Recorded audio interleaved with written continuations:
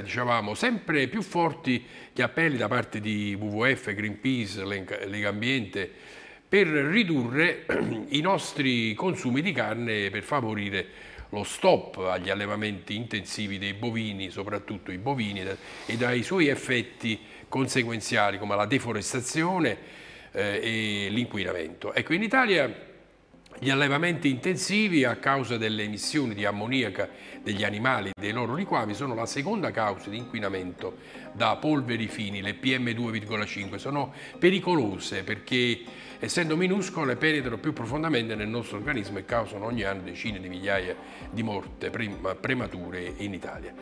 il sistema degli allevamenti intensivi, che risponde poi alla nostra voglia spesso sfrenata di carne in alcuni di noi, eh, fa consumare grandi quantità di risorse sempre più scarse.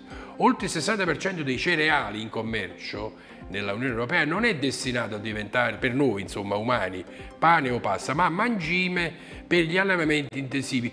Così come, non tutti lo sappiamo, oltre un terzo dell'acqua usata eh, dal settore agricolo è utilizzata per questo tipo di allevamenti e per la produzione di mangimi.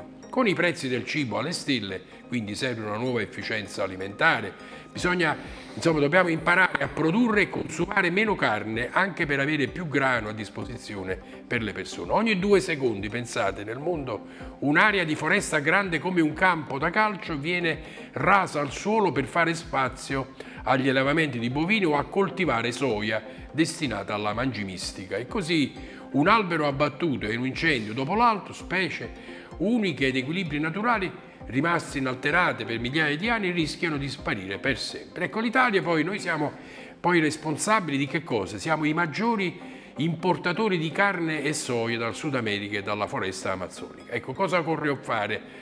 Occorre subito. Una moratoria immediata, dicono appunto le associazioni ambientaliste, ma anche noi cittadini, immediata sui progetti di nuova costruzione o ampliamento di allevamenti intensivi.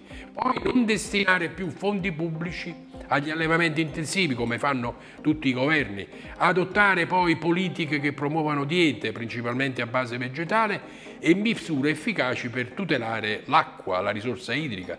E poi evitare le importazioni di materie prime come la soia, utilizzata come mangime e poi sui prodotti di origine animale sia ben chiaro scritto nell'etichetta il metodo di allevamento e quindi andare verso sistemi di allevamento più rispettosi del benessere animale.